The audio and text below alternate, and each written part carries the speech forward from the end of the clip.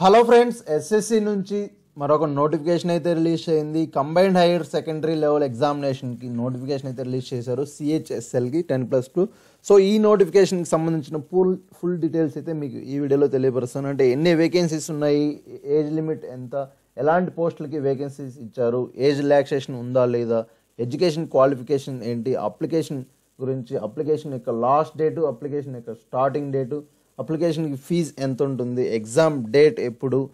Next అలాగే exam syllabus ఏంటి? Negative marks ఉందా లేదా అనేది ఇలాంటి టోటల్ డీటెయిల్స్ అయితే మీకు ఈ వీడియోలో తెలియపరుస్తాను. చూడండి.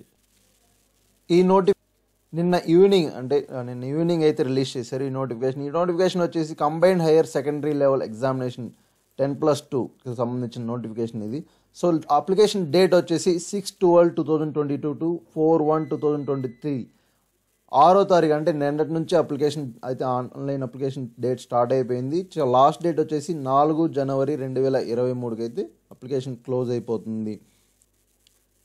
జనవరి నాలుగో తారీఖున రాత్రి పదకొండు గంటలకైతే ఆ ఆన్లైన్ అప్లికేషన్ అనేది సర్వర్ క్లోజ్ అయిపోతుంది కాబట్టి అప్లై చేయాలనుకునే వాళ్ళు జనవరి నాలుగు లోపే అప్లై చేసుకోండి.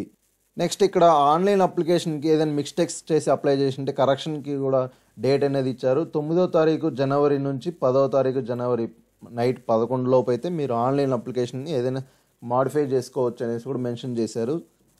Tier one computer based examination online exam వచ్చేసి ఫిబ్రవరి లేదా మార్చి రెండు వేల ఇరవై మూడులో ఉండొచ్చు అనేసి అయితే మెన్షన్ చేశారు. Next second tier two exam computer based exam అనేసి ఎప్పుడు ఉంటుందనేసి తర్వాత నోటిఫికేషన్ ఇస్తామనేసి అయితే ఇక్కడ వెల్లడించారు.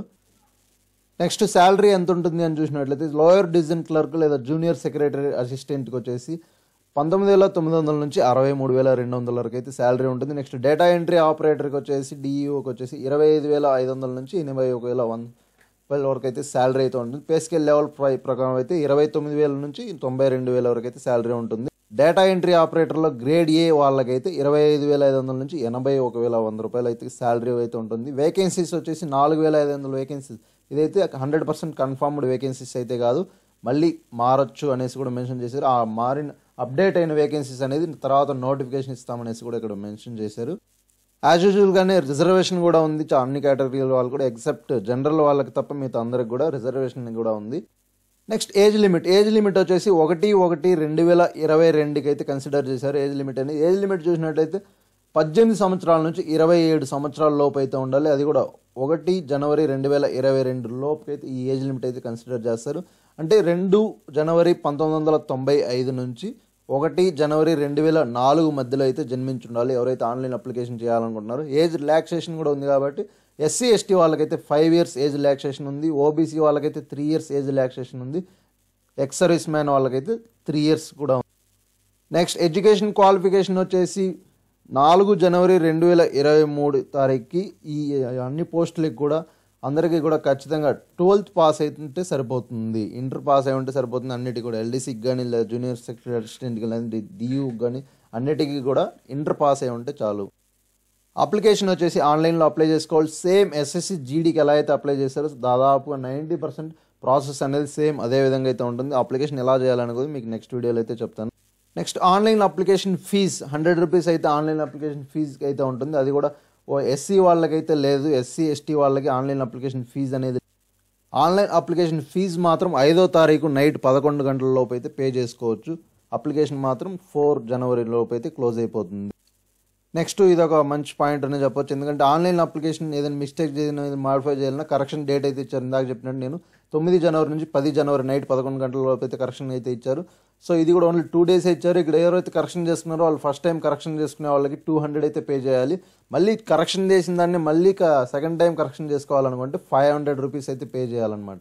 ఎగ్జామ్ సెంటర్స్ యాజ్ యూజువల్గానే ఎస్ఎస్సి జీడీకి లాగానే చీరాల గుంటూరు కాకినాడ కర్నూలు నెల్లూరు రాజమండ్రి తిరుపతి విజయనగరం విజయవాడ విశాఖపట్నం చెన్నై పుదుచ్చేరి ఇవన్నీ కూడా యూజువల్గా సేమే అనమాట తెలంగాణ వాళ్ళకి చూసినట్లయితే హైదరాబాద్ కరీంనగర్ వరంగల్ ఇచ్చారు. Scheme scheme of examination. Exam వచ్చేసి రెండు సార్లు ఉంటుంది. టైర్ వన్ ఎగ్జామ్ ఉంటుంది టైర్ టూ ఎగ్జామ్ అయితే ఉంటుంది. ఇక్కడ టైర్ వన్ ఎగ్జామినేషన్కి అంటే ఫస్ట్ ఎగ్జామ్కి వచ్చేసి సిలబస్ సబ్జెక్ట్స్ ఏమేమి ఉంటుందని చూసినట్టయితే ఇంగ్లీష్ లాంగ్వేజ్ బేసిక్ నాలెడ్జ్ ఉంటే చాలన్నమాట. సో ఇది ఇరవై ఐదు క్వశ్చన్ టోటల్గా యాభై మార్కులకి అంటే ఒక్కొక్క క్వశ్చన్కి రెండు మార్కులు ఉంటుంది. ఇరవై ఐదు క్వశ్చన్లు యాభై మార్కులు. నెక్స్ట్ ఇన్ జనరల్ ఇంటెలిజెన్స్ ఉంటుంది సబ్జెక్టు. ఇరవై ఐదు క్వశ్చన్లు యాభై మార్కులు. Next quantitative aptitude basic arithmetic skill అనమాట మ్యాథ్స్ ఇరవై ఐదు క్వశ్చన్లు యాభై మార్కులు.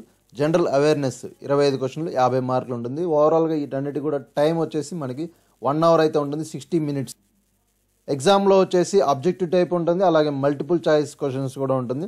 సో ఇది ఎగ్జామ్ వచ్చేసి ఇంగ్లీషు హిందీ లాంగ్వేజ్లో మాత్రమే ఉంటుంది తెలుగులో అయితే ఉండదు. నెగిటివ్ మార్క్స్ కూడా ఉంది ఎగ్జామ్లో సో నెగిటివ్ మార్క్స్ అనేది ప్రతి రాంగ్ ఆన్సర్కి కూడా zero point five zero marks అనేది నెగిటివ్ మార్క్స్ కూడా ఉంటుంది. Next tier two examination schedule subject wise చూసినట్లయితే సెక్షన్ వన్లో వచ్చేసి మాడ్యూల్ వన్ మ్యాథమెటికల్ ఎబిలిటీస్ ఉంటుంది. Next reasoning and general intelligence కూడా ఉంటుంది. ఇది వచ్చేసి ఓవరాల్గా ముప్పై ముప్పై క్వశ్చన్లు టోటల్గా అరవై క్వశ్చన్లు అయితే ఉంటుంది.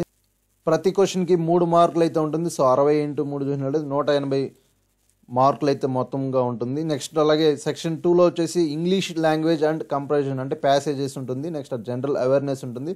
ఓవరాల్గా ఇక్కడ ఇంగ్లీష్ లాంగ్వేజ్ అండ్ కంపారిజన్కి వచ్చేసి నలభై క్వశ్చన్లు నెక్స్ట్ జనరల్ అవేర్నెస్కి ఇరవై క్వశ్చన్లు ఓవరాల్గా ఇది కూడా సేమ్ అరవై క్వశ్చన్లు ఉంటుంది. అరవై ఇంటూ మూడు నూట ఎనభై మార్కులకి అయితే ఉంటుంది. టైం వచ్చేసి సెక్షన్ వన్కి వన్ అవర్ ఉంటుంది. సెక్షన్ టూకి సపరేట్గా వన్ అవర్ ట్వంటీ మినిట్స్ అయితే ఉంటుంది. సో ఓవరాల్గా సెక్షన్ వన్కి అయితే టూ అవర్స్ ఫిఫ్టీన్ మినిట్స్ రెండు గంటల పదిహేను నిమిషాలు అయితే ఎగ్జామ్కి టైం ఇస్తారు మనకి. నెక్స్ట్ సెక్షన్ సెక్షన్ త్రీలో మనకి కంప్యూటర్ నాలెడ్జ్ మోడల్ కూడా ఫిఫ్టీన్ క్వశ్చన్స్ అయితే ఉన్నాయి. అంటే నలభై ఐదు మార్కులు దీనికి ఫిఫ్టీన్ మినిట్స్ కాబట్టి ఈ ఫిఫ్టీన్ మినిట్స్ కలుపుకొని two hours fifteen minutes time అయితే ఇస్తున్నారు. నెక్స్ట్ సెక్షన్ సెషన్ టూలో అయితే మనకి సెక్షన్ త్రీలో స్కిల్ టెస్ట్ లేదా టైపింగ్ మాడ్యూల్ టెస్ట్ అయితే ఉంటుంది. స్కిల్ టెస్ట్ అనేది ఓన్లీ డిఈఓస్కే కాబట్టి ఫిఫ్టీన్ మినిట్స్కి అయితే ఉంటుంది. నెక్స్ట్ టైపింగ్ టెస్ట్ అనేది ఓన్లీ ఎల్డీసీకి లేదా జూనియర్ సెక్రటరీ అసిస్టెంట్కే కాబట్టి అది కూడా టెన్ మినిట్స్కి అయితే ఉంటుంది. So syllabus subject wise syllabus ఏమేమి ఇచ్చారు ఏ టాపిక్స్లో క్వశ్చన్స్ అడుగుతారు అనేసి కూడా ఇచ్చారు. ఇది మీరు అందరూ కూడా నోటిఫికేషన్లో చూడొచ్చు. నెక్స్ట్ అలా పోస్ట్ ప్రిఫరెన్స్ మీరు సెలెక్ట్ చేసుకునేటప్పుడు మెన్షన్ చేసేటప్పుడు కూడా చాలా కేర్ఫుల్గా అయితే మెన్షన్ చేయండి. ఎందుకంటే ఒకసారి సబ్మిట్ చేసిన తర్వాత మళ్ళీ మార్చుకోవడానికి ఉన్నది కాబట్టి పోస్ట్ ప్రిఫరెన్స్లో నెక్స్ట్ కట్ ఆఫ్ ఎంత ఉంటుంది? సెలక్షన్ ప్రాసెస్ కట్ ఆఫ్ ఎంత ఉంటుందని చూసిన minimum qualifying marks in tier one కానీ సెక్షన్ వన్ కానీ section two and module one of section three of tier టూలో అన్నిటికీ కూడా అన్రిజర్వ్డ్ కేటగిరీకి అయితే థర్టీ పర్సెంట్ మార్క్స్ వస్తే సరిపోతుంది అనేసి ఇచ్చారు. ఇక్కడ క్వాలిఫైయింగ్ మార్క్స్ ఓబీసీ ఈడబ్ల్యూఎస్ వాళ్ళకైతే ట్వంటీ ఫైవ్ పర్సెంట్ మార్క్స్ అయితే ఇచ్చారు. మిగతా అన్ని కేటగిరీ వాళ్ళకి కూడా ట్వంటీ పర్సెంట్ మార్క్స్ వస్తే క్వాలిఫై అయినట్లు అనేసి అయితే ఇక్కడ మెన్షన్ చేశారు.